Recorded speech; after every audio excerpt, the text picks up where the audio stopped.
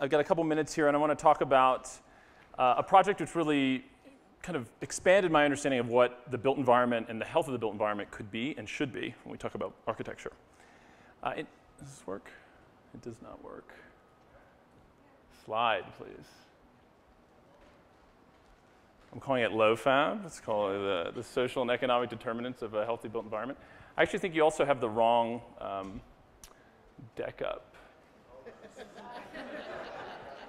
Oh, I know what happened. You have it the last slide, so you have to put it on slide one. That's what it is. So everybody, how's everybody doing?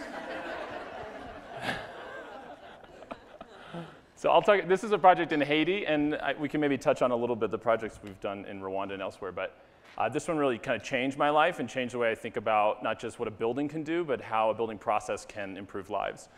Um, so I'm calling it LOFAB, and, uh, and I'll get to what that means. So in 2010, we all know that the earthquake in Haiti really changed, well, significantly changed, but killed over 250,000 people. Uh, but as an architect, I really saw this as a, as a failure of building. You know, this wasn't the earthquake that killed people, this was buildings that fell on people after an earthquake, which killed these people. Uh, and I think, in some sense, the architectural community, the design community, really felt responsible, accountable to this. They felt a need to respond, and there was a significant outpouring of response from not only, uh, let's say, young student designers in schools, but uh, the profession in general. They felt that finally, this is a, a clear example of where architecture has failed. It's failed people and it's killed and hurt people. And we needed to do something about it great intent, but a lot of the results that happened, a lot of the, out, uh, a lot of the strategies that people came up with weren't really filling the bigger problem that was happening in Haiti. We saw a lot of uh, unique solutions that came out of design studios, which were what we might call prefabricated solutions, ones that could be easily erected, built uh, ahead of time, let's say in America, shipped over, easily constructed. Um, but something about that when it came into the field in Haiti, and this was built in, in a district in Haiti, was really not only uninspiring, but kind of oppressive, right? This prefabricated solution of housing as a solution uh, was not a solution to the bigger, bigger social determinants that were affecting lives in Port-au-Prince. It, it, reminded me about something that I thought was actually incorrect, that prefabrication, which has been considered a solution of the built environment because we do things quicker and cheaper, relies on a, a, an equation. It reduces the amount of labor uh, and focuses on materials because labor is expensive in the US and materials are, are cheaper. But in Haiti, it's the inverse. In, in resource poor settings, it's actually an inverse equation. Labor is very inexpensive and materials are cheap. So why would we be offering this solution to solve big, big problems that are happening in a place like Port-au-Prince? We started to think about this when we were asked to come and work on a hospital uh, to treat cholera after the outbreak of, of cholera in, in Port-au-Prince and thought, how do we design a, a project which actually focuses on maximizing labor in order to address these social determinants of the failure of the built environment, i.e. give as many people jobs as possible, focus on who can build as opposed to just what is built, what is built cheaply and quickly. And we thought about some of the, the incredible, brilliant um, craftsmen in Port-au-Prince, like these metal workers uh, that unroll steel drums and turn them into some beautiful, ornate uh, that's famous all over the world and especially all over the Caribbean. How could we design something that not only performs to improve health, but also leverages this expertise and employs as many Haitians as possible? Uh, and we developed a project and thought about a project which, instead of minimizing labor, maximizes labor. And this is Mackenzie Ville, uh, who runs one of these incredible uh, crafts, uh, artisan shops, and him and his sandals, working on this new construction of this project, which he, we had designed in our laboratory, but then he also handmade and developing a skin system which performs to in introduce natural ventilation, uh, in introduce privacy, uh, and lighting in, in the facility, but all made by hand, all made by these local artisans, is uh, 36,000 individual cuts by, by individual hands. And the idea came about that this was a way to leverage and maximize the individual hands that touch a project, the opposite of prefabrication in the end, we, we ended up uh, developing this cholera treatment center, a center which also is not just about who makes it, but also about how it performs. And in this center in particular, a building to address the reduction in cholera, a diarrheal disease, um, one that is really about the failure of the built environment in general. It's a failure of water and sanitation. So how does a building address that?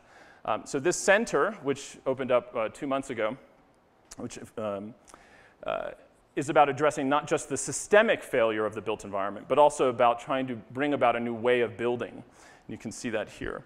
And the way that happens is it collects the uh, contaminated waste of patients that come in here and it decontaminates it on site. So it's actually a, a wastewater treatment facility underneath the pavilion facility. And those two things together really made us realize that one, buildings can heal and building processes can heal. And so we think about this as something we call locally fabricated or low fab, a way of approaching the built environment that's not about, that's about maximizing labor and thinking about outcomes and impacts, especially health impacts, as opposed to maximizing how fast and how quick we can build something. This is, in some sense, a, a diagram of that. Another way to think about this is what's the slow food movement of the built environment, right? We don't want to call it slow fab, though, because no one would hire us. I think this is, um, but I think this is actually a really, really important question, not just for resource poor settings, but for architecture and buildings in general. This is the Qatar Stadium uh, that's uh, being built, the World Cup Stadium right now. And as some of you may have heard, over 850 people have already died in the construction of this project. So this is, or this whole campus, right? That's an epidemic of death, um, to use some health terms. That's about not focusing on the way in which a building is built and how it impacts the individual lives of who, build it, who builds it. And so we have to ask more than just what a building does, what a building is. We have to ask what a building does. And not just what a building does as it performs when it's finished, but how we make a building and how we focus on redesigning that process of building to impact lives every day so they can actually benefit not just from, its, from the existence of the uh, the services that building has, but from being proud of it and its continuation as an entity of economic driver and economic engine for time to come. So I'd like you to think, when you think about buildings out in your communities, ask this question, not just what's its environmental impact, not just do you like it or not, but ask who built it. And how do we maximize that question? How do we ask who builds? And that, I think, is a future important health question of uh, the built environment. Thank you.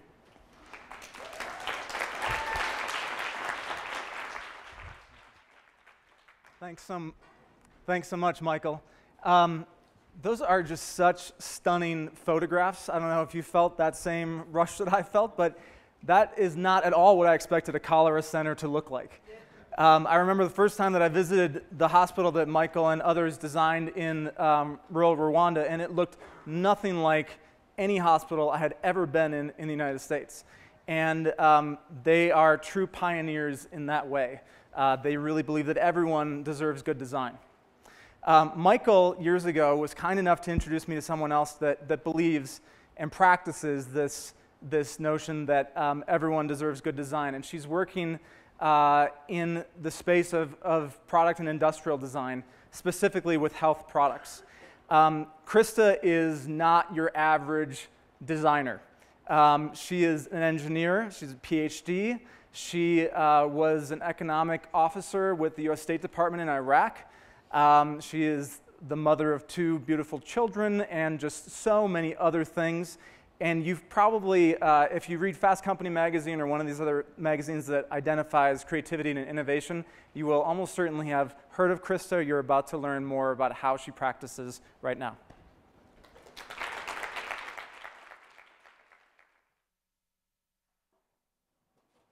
I love it when my kids are, are mentioned as part of my introduction.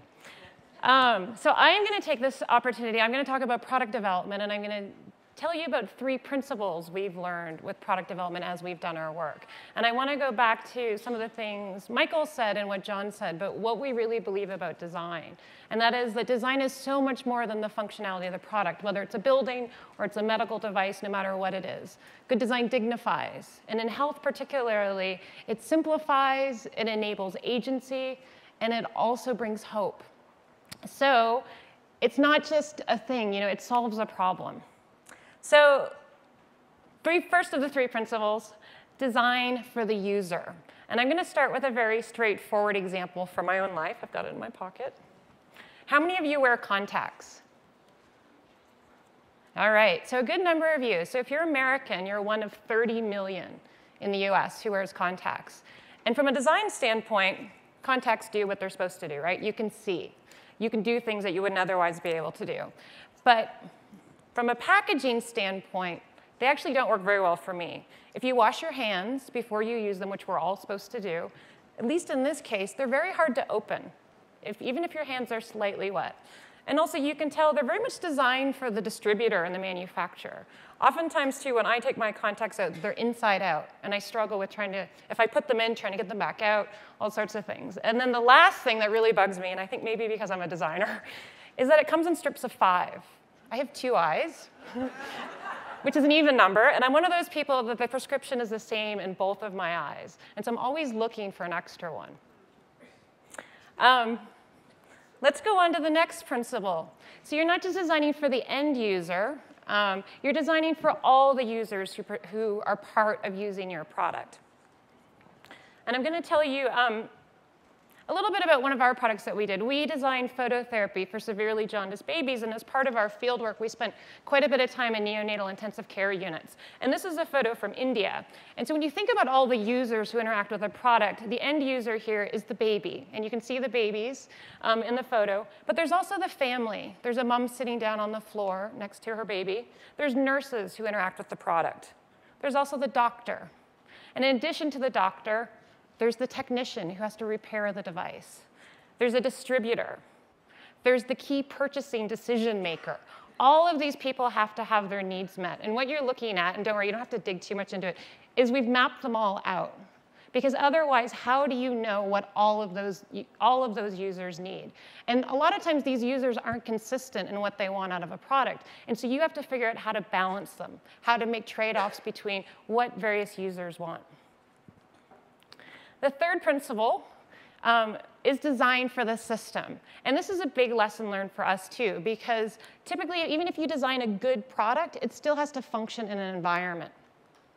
What you're looking at here is the prosthetic knee, or prosthetic leg. And the photo is from the Jaipur Foot Clinic in India. This is a long-term, long-time partner of D-Rev. And to get a sense of what a prosthetic leg is, you have the socket. You can see at the top, it fits over the residual limb. There's the knee, the pylon, which is like the shin, and then the foot. And we work on the knee, and that's because the knee is the most expensive and complex part of that entire system. But we had some interesting findings as we visited various clinics, like this one that you see here in Nairobi. Even if you design the best products, there's still problems in the system. These four prosthetists were very busy on the day that we visited, um, but they weren't fitting patients. And the reason was is that the foot hadn't arrived. And so as part of this system, the supply chain wasn't working. And as we dug in more, we also found out that there aren't enough skilled prosthetists to fit all the amputees who had the need for well-fit prosthetics. So it caused us to rethink too, how do we solve this problem if that's really what it's about? And so now we're looking at how do we bundle all the components in a system to make sure it gets to clinics on time. We're working with um, Dr. Pooja Mokal at the Jaipur Foot Clinic in India to develop curriculum to help with training new prosthetists. Because at the end of the day, it's about solving the problem.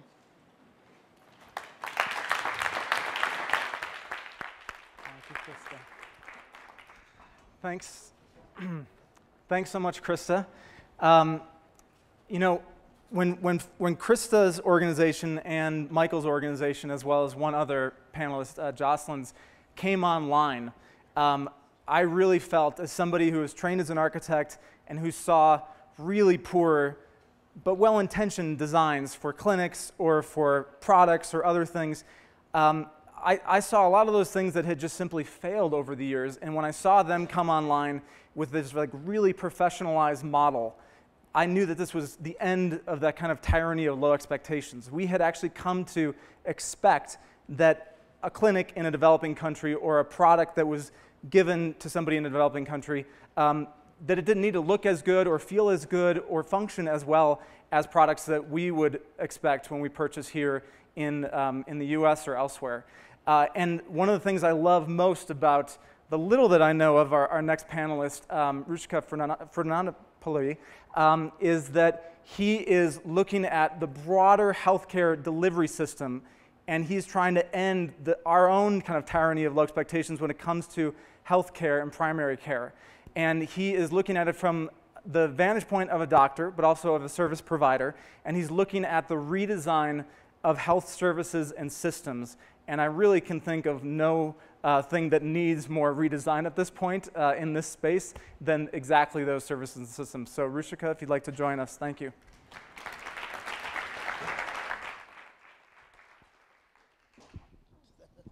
So I get to use the uh, Oprah mic here.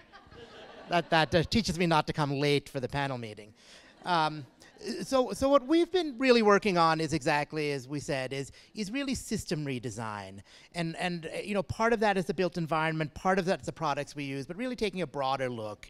Uh, and as you mentioned, really the bar. If you think about the system of how we have amazing tools in healthcare right? Amazing tools of new devices, new drugs, new surgeries. The way we actually deliver it to people is awful right? The experience we have is poor too often. It robs us of our dignity. Uh, the outcomes are embarrassing. So if you have hypertension in this country, uh, only about 55% of the people with hypertension actually have their blood pressure under control. Not that we don't have good drugs or good science, it's we don't have systems in place to actually deliver it. And this is, comes at you know a huge waste. You know, 3.5 trillion dollars one in six dollars that we spend in this country, and we know uh, almost everyone knows that about a third of that is waste, right? Uh, Don Berwick, one of my uh, idols, often says that every system is perfectly designed to get the outcomes it gets, right? And the problem about our healthcare system is we've designed it not around what we think we should outcomes for patients, improving health. We've designed it around maximizing income for the providers and that's why we get what we get. And uh, what a lot of people are doing in trying to tweak this existing system without confronting this fundamental design problem. So what we started to do about 10 years ago is what if we said we want to rebuild the system from the bottom up, starting with primary care, with just a fundamentally different design principle. This is not about maximizing income. This is about improving health of the population. What does it look like? Uh, and we've been doing this for a while. Um, a couple of things we've learned along the way. So the first is it's really important to ask the right question right? And frame it not too little and not too big right? So I think uh, we did some work with um, IDEO, a great design firm, while uh, working with Mass General, a great health system. But they were asked, let's redesign the patient visit, right? Wrong question, right? Maybe the thing that the patient needs isn't a visit. We should redesign meeting the need of the patient, right? So broaden it. So too small is a problem. Other people frame the problem too big. So I worked at an interfaculty health policy program at Harvard. We were going to try and let's get all the stakeholders together: the drug companies, the hospital, the doctors, the specialists, uh, you know, and, and we're going to have everyone be happy right? Well, the problem is that's how we got the current system, right? So you need to sort of narrow. That's too broad, right? So, so let's design. So our task was let's rebuild an operating system which is a combination of system design, technology, space, uh, for patients, that's where we're optimizing for, to improve their health and keep them out of trouble, right? So, so point two is now you need to figure out how you do this design, right? And so I think get the right people. And I think the mistake a lot of people make is they get what I'd call the gray-haired guys in the room, the people who are the heads of blank, right? But, but in some ways, they're the ones who created the current system. Uh, and, and if you do that, you're going to get exactly what we get now. So, you know, you get the people who are smart, creative, idealistic, out of the box thinkers, a little tr- bit troublemakers, right? The people who might become those gray haired guys somewhere, or they might get fired and end up uh, being a guitar player, right? So that's that's who you want and get them in a room from different things and they're not there defending their type they're, they're acting both as patients which we all will be as well as whatever they are, a doctor, a nurse, whatever, right? Um, and get them to design it, right? Um, one of our design principles is when in doubt, if you have two choices, um, take the more radical route, right? Because you can always flip back and do the more conservative one. Uh, so just take the more radical route. Um, and then don't think you'll get it right the first time, right? Another principle is build very quickly, build before you're ready right? Because I think if you sit around, you know, on whiteboards all you want, so you need labs. So that's what we did, is we built a lab practice in Boston about 10 years ago where we could just try things, try things tomorrow, right, without studying it, collect data on it, collect feedback right away, and then tweak the model. So what we built now, and the other thing is if you're going to change a system, don't do it just in one place, right? Because you might get fooled because of quirky things. Do it in a bunch of different places with different sorts of populations, because then you can learn what is it that's universal and what are things that can and should be different when you take it to different populations. So we now have 12 practices across the country serving very different populations. Casino workers in Las Vegas, we have freelance uh, yoga teachers and artists in Brooklyn, we have Medicare, over 65 seniors in um, Seattle and Phoenix, we have carpenters in Boston, um, and, and, they're all our labs, right, where we can continue this design work. Uh, a few things we've done, you know, we have very robust teams. It's not about the doctor. Uh, we have people from the community. We've evolved our own technology platform. Um, and really, I think if you think about designing the system, it's a really big task. But the problem is if you don't design the system, it will just happen, and we end up with the thing we have now. So thank you.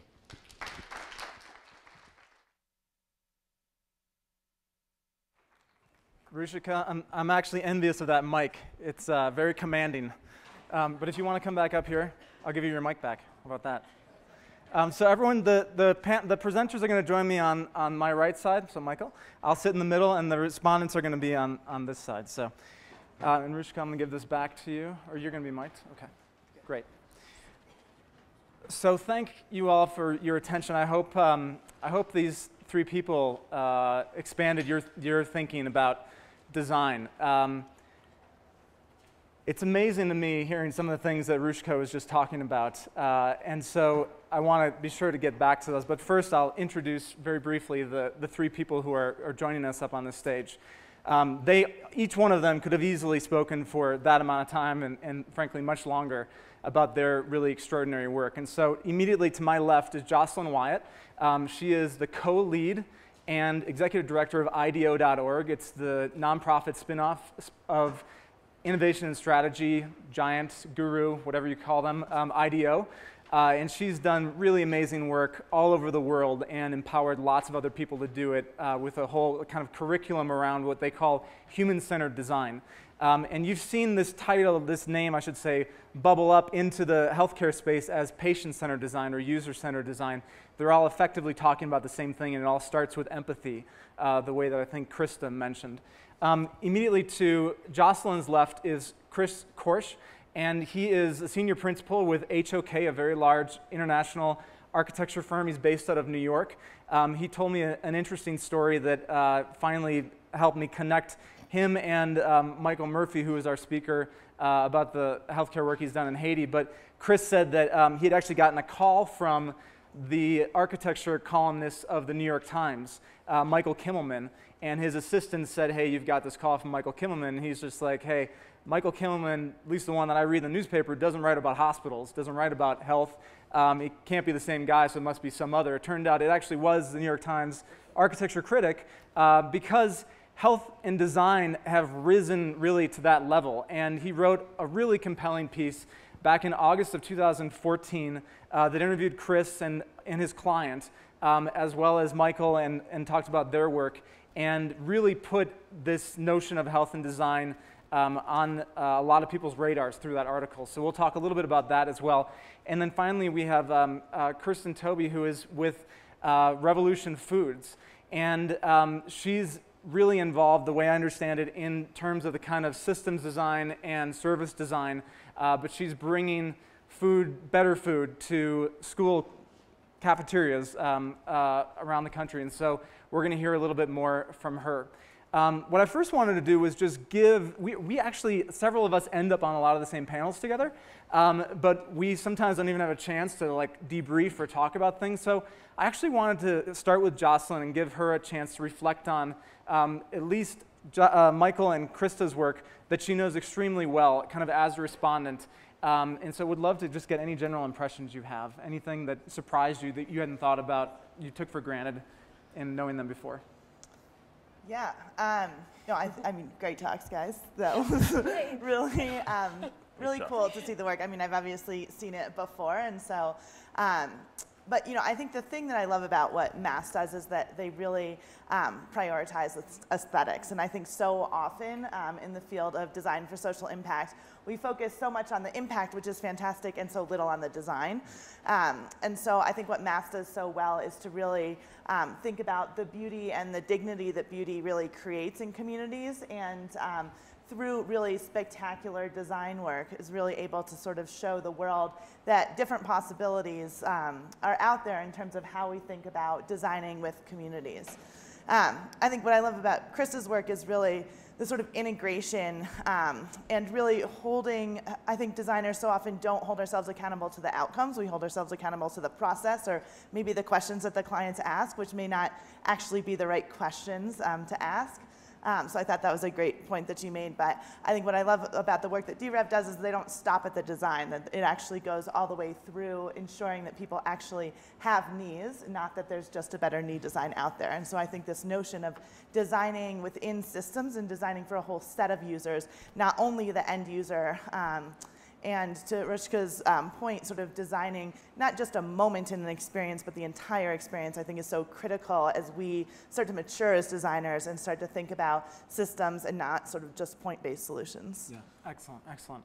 Um, I agree with you on so many fronts. It's interesting, IDEO.org uh, works on very much like a consultant basis where they come in at really specific points in a process. And I have a feeling that even though Mass has taken some projects from beginning to end, uh, and Chris as well, that they too feel like they sometimes come in at a moment and they lose control when the building is turned over to an owner or a facilities manager. Um, I'm just curious, like how you and IDEO.org um, either wrestle with or kind of leverage that moment to make an impact and how you can really ensure that uh, your principles of human-centered design are carried forward. Yeah, I mean, we've really focused recently or over the past year or so on extending that time that we work with organizations and really partnering them with them deeply. So shifting, taking a shift from thinking about clients to thinking about partners and thinking about sort of acting in a consulting model versus acting in sort of a programmatic model. And so now most of our engagements are actually, you know, we're thinking about them in timeframes of 18 to 24 months now and really thinking about that stewardship all the way through. So the reproductive health work we've been doing recently with Marie Stopes International in Zambia and now in Kenya. It's really an extension where we, we continue to go back and continue to support the implementation mm. and the monitoring and evaluation and the service delivery because we realize that we're actually not able to do as much as we as needs to be done in a three or more four month period, but that that support needs to continue um, on a much more extended period of time. So I think we're actually learning how to work more like the way that Krista and D-Rev do um, mm-hmm. through maybe not seeing the impact by not working all the way through previously. Yeah, interesting. Um, thank you. And so, Chris, um, one of the things I really admire about HOK is your commitment to research. And um, some of that research is beyond your view, of course, as an architect.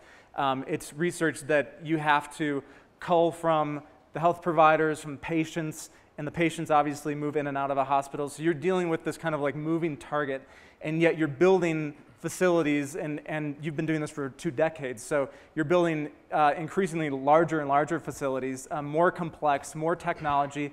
Just tell us a little bit about that. Um, I'm sure you have a lot to impart. Sure. Thanks, John. Um, so let me just start by saying uh, three things that I hear when I meet people for the first time. Well, the first is, do you play basketball? Fine. The second is, oh, I wanted to be an architect too. The third is, oh, hospitals. I, I hate hospitals. Uh, and the thing that's interesting is how is this such a universal, how is this such a universal, universal